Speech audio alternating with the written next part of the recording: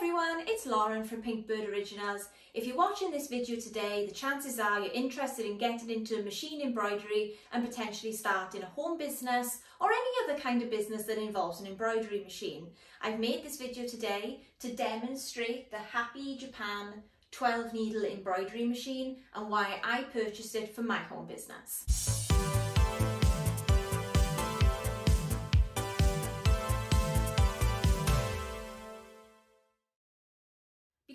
YouTube videos, I get an awful lot of messages asking about my embroidery machines and so I thought I'd make this video just to cover some of the common questions I get asked and also hopefully provide you with a little bit more information about this particular machine. Um, so in this video today, we're going to be going over some basic information about the machine. We're going to be uploading a design onto the machine and actually stitching it out. I'm going to be pointing out some of its flaws and some of its drawbacks, but then also going to be covering some really cool features. And to start off, it's worth mentioning that this is the Happy Japan Voyager or the HCS 2. This is actually um, an older model now. There's a new model on the market now. I believe it's called the HCS3. So just bear that in mind if you're going to buy this machine brand new. It will be slightly different to this machine which I'm talking about in my review today. The HCS2 is considered to be a compact embroidery machine.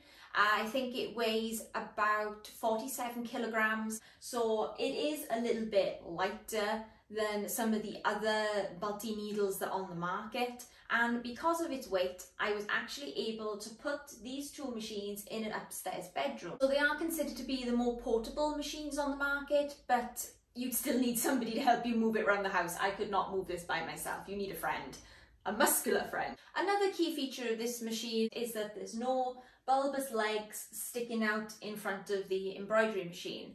In my business, I embroider on the backs of denim jackets a lot, and sometimes you find having things in front of the machine can interfere with the movement of the embroidery machine, wherein the jackets might get all tangled up, and it just results in the jacket design being damaged or ruined, and it just causes a lot of problems. With this machine, with there being nothing sticking out in front of the machine, the jacket just drapes over the arm like that and it makes for a much more smoother embroidery process on larger pieces. This is the largest embroidery hoop that the 12 needle Voyager comes with.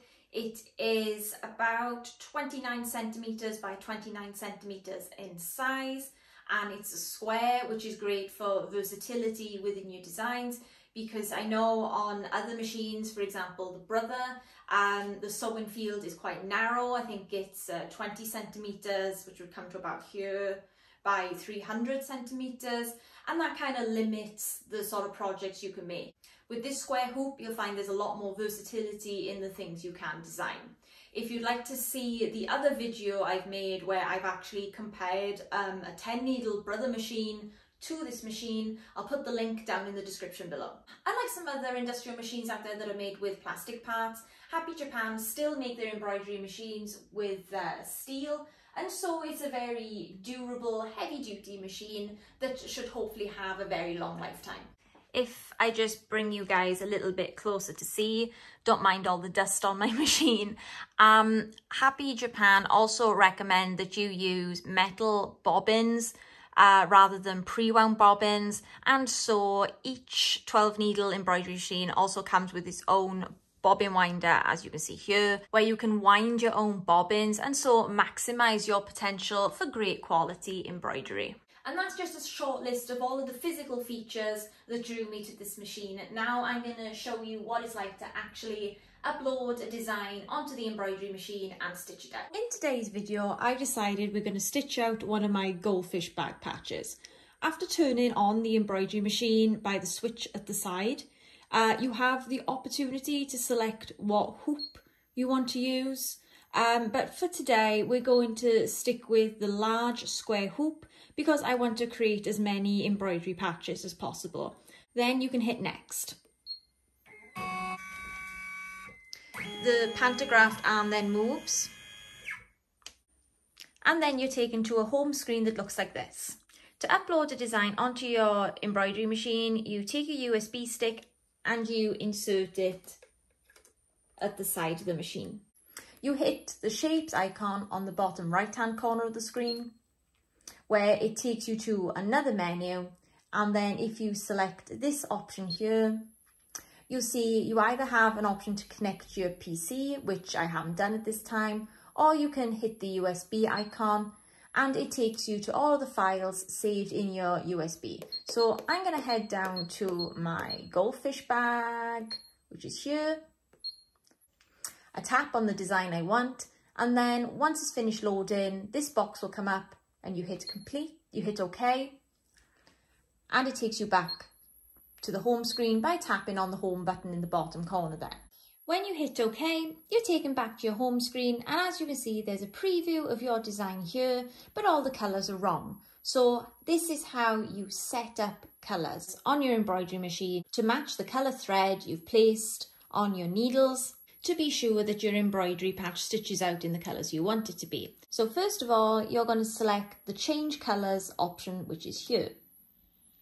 And it takes you to this screen where you've got a preview on the left hand side and the numbers 1 to 12 which represent your needles. This little block of colour on each side here represents what colour is on each needle. And this row at the top here represents what each section of the design is currently selected. So you can see as I'm flicking between each section of design is highlighting a different part of the design on the preview. Now, at the moment, I've set up my machine so that my silver thread is on needle one, my blue thread is on needle two, uh, orange is on needle three, yellow is on needle four, I've got my dark outline colour on needle six, and over all the way on the other side of the machine on needle nine, yeah, needle nine, that's my red. And these are the colours I want to use to stitch out my goldfish. But as you can see on the screen here, the colours currently showing do not match what is actually on the needle. So for example, these are all leftover colours from my previous design where I had a green on needle number one, a pink on needle number two and so on. So what I need to do now, in order to give myself an accurate view of what this design is going to look like, I need to choose colours that correspond with what is on the needles. So on needle number one, I've got a silver thread. I hit the little uh, paint palette icon on the side and this screen comes up. Again, you can see the numbers 1 to 12 and they represent your needles. So I want to choose colours that correspond with the threads that are on each needle. So on needle number 1, I said, and you can see in the corner of the screen here, that I've put my silver thread on needle number one. At the minute, that's showing green. So I'm going to change that by tapping on that thread spool and I'm confronted with a colour palette. If you can't quite find a shade to match your needs in this colour palette, you can also expand the colour palette and you see there's a further selection of shades here. But we're going to go back to the basic colour palette for the meantime and I'm going to select silver. And when I hit OK, you'll see that number one now has changed to silver. And I'm going to do this for all of the threads that I've changed on the machine. I'm going to select their corresponding colours. So the thread on needle number two is blue. So I'm going to select blue. On number three, it's orange. So I'm going to select orange. Uh, number four was already yellow so that's fine. Nine is already red and I already have my dark colour selected on number six, so I don't need to change these. I just need to click OK. And now you can program what section of the design you'd like to be stitched by which needle. So this part here represents the bag, so I'm going to select needle one. This yellow highlight here represents the water in the bag, so I'm selecting needle two. I wanted this part of my fish design to be a yellowish colour and this part to be orange and his top, head and eye to be red. And lastly, I wanted an outline to go around the bag. And then once I've corresponded my colour palette to match with my needles. I then press the home screen and you can see the preview on the side shows the colours I've picked for each section of the design. If I wanted to change the position of the design in my large square embroidery hoop, I would tap on this green icon with the hoop in it here and you can see here's your hoop and here is your design positioned within that hoop. If you just wanted to center the design within the hoop, you'd tap the P, the P center icon, which brings your design to the middle of the hoop. Or if you wanted to position your design in a particular place, you can use these arrows to move the design within the hoop. But as you can see, that was quite slow and really only meant for minor adjustments. If you wanted to move the design quickly, these uh, FF and the little green bars, which almost look like Wi-Fi bars on the side, represent how fast you want to move the design, with one being the slowest and three being the fastest. So if I just tap three, and you can see the design moves very quickly. Alternatively, you can just tap on the hoop like so, and the design moves. But I'm to put it in the center for now. Then once you're happy with the position of the design and you're ready to stitch it out, you just press home and you can hit start.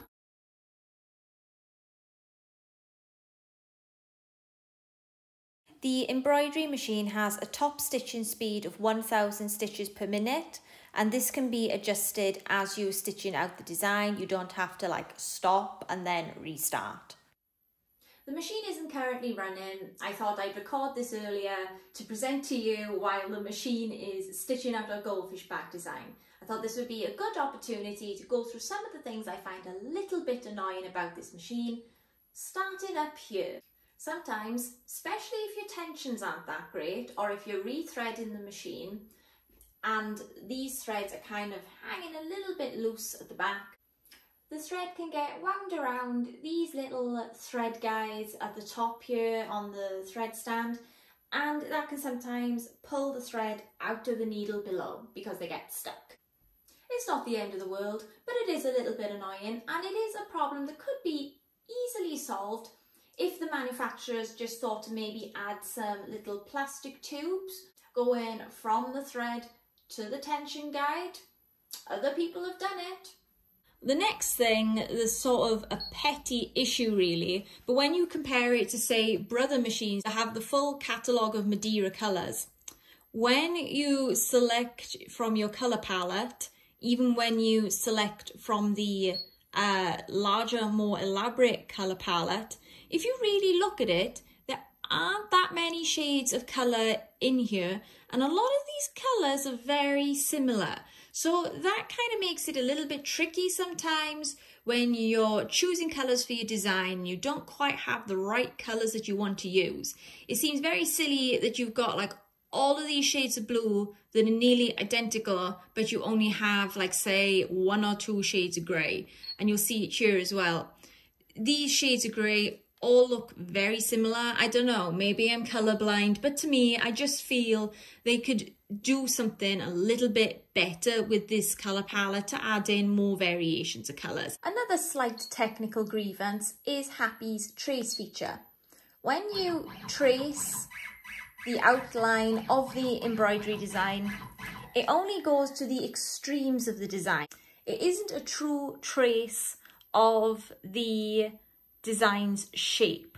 Okay, you could argue by doing it this way, you are never gonna stitch on top of another design accidentally if you're trying to fit more than one design in your hoop at once. Okay, but say you did want to fit more than one design in your hoop to save on material and be a little bit more conservative in your production, then having a more accurate trace or being able to see an image of the patch inside this outline rather than just the extreme outline of the patch itself would help you fit more designs in your larger embroidery hoops and increase production. But let's not get too caught up on the negatives because for every negative there is a really cool feature on this machine that you probably didn't even know you needed until now. For example, this machine is so easy to customize. Did you know it has a fine mode? So if you're doing like fine text, for example, with really thin thread, you can actually set up your machine so that it's at the optimum kind of operating settings for you to get the best results operating with that fine thread.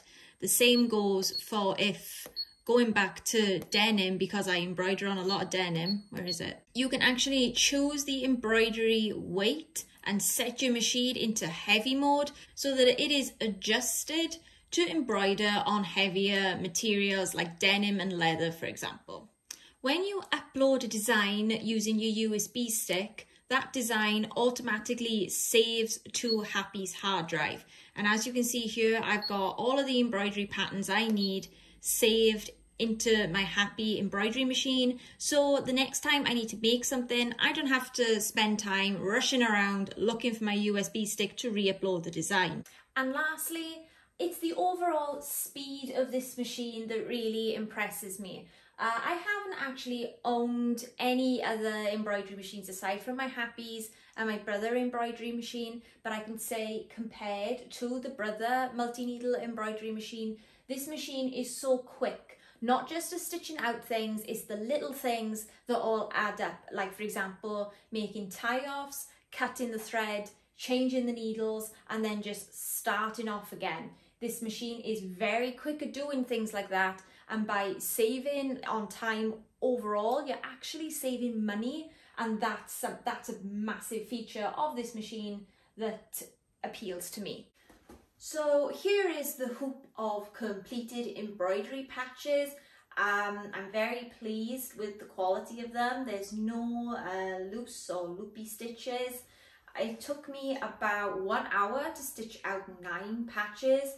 I sell these for about four pounds a patch. So uh, nine in an hour at four pound is 36 pounds. So if you look at that, that's 36 pounds an hour really because uh, embroidery thread is really pennies. So obviously speed is a big factor you can attribute to profit in embroidery and also the amount of patches or projects your embroidery machine is capable of completing in one hour. And on that note, that's all for now. I hope you've enjoyed this long video of going over some of the Happy Japan's basic features. I'm not kidding you, I could talk about this machine all day. I really do enjoy using it. It's a great workhorse and in my opinion good value for money. Like I said at the start of the video, this isn't the most recent model available and actually I've got some exciting news. Uh, the newest model, the HCS3, is actually going to be delivered to my house very soon. And so I'm going to be posting a demo video of that machine and highlighting some of the differences between the older model and the newer model, all the things they've improved, anything they've taken away. So if you'd like to see that video, please consider subscribing to my channel and hitting that notification button and then YouTube will let you know when that video comes out. So thank you for watching everybody and I'll see you next time.